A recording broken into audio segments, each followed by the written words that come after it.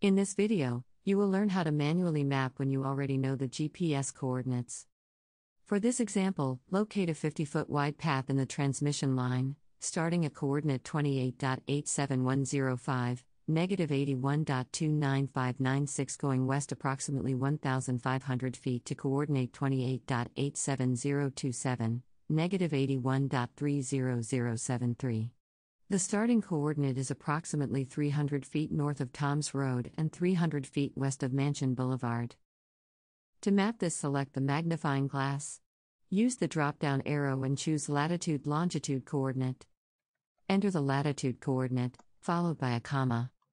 Next, enter the longitude coordinate. When finished, hit enter. A red pin will appear at the coordinates entered. Mark the starting coordinate with a push pin. Next, enter the coordinates for the ending point.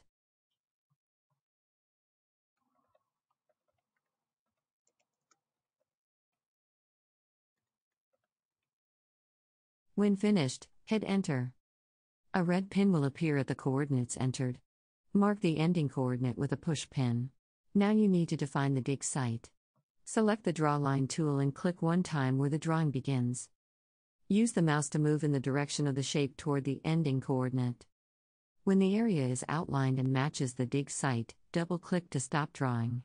The shape drawn will be highlighted in a blue graded pattern. Select the save icon, and it will change from the blue graded pattern to a solid blue. If you do not draw the dig site, any utilities outside the 200 foot radius will not be notified.